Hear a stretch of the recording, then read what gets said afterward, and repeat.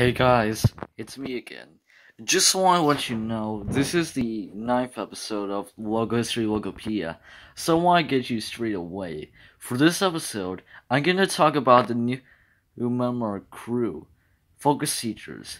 Let's take a look at the short bio because if you don't know what Focus Feature is, it is an American film production distribution company owned by Comcast as part of Universal Pictures, a division of its wholly owned subsidiary NBCUniversal.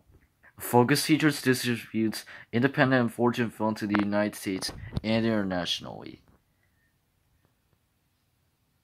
For this request, it's from KMR TV channel, which submitted two days ago, and I want to make this quick. So without further ado, let's get started. However, except this is the only logo I have so far, 2002 to the present. This is the word focus features in black.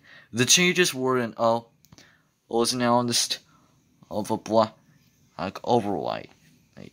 We have the F O C U S on top, and we have features on the bottom. Alright, so that's it for now, guys. Thank you for watching this short episode of Logo History Logopedia. Just don't forget to request any more episodes in the meantime. And I'll see you later for the next episode, guys. Bye for now, and for always, see you later for the next episode.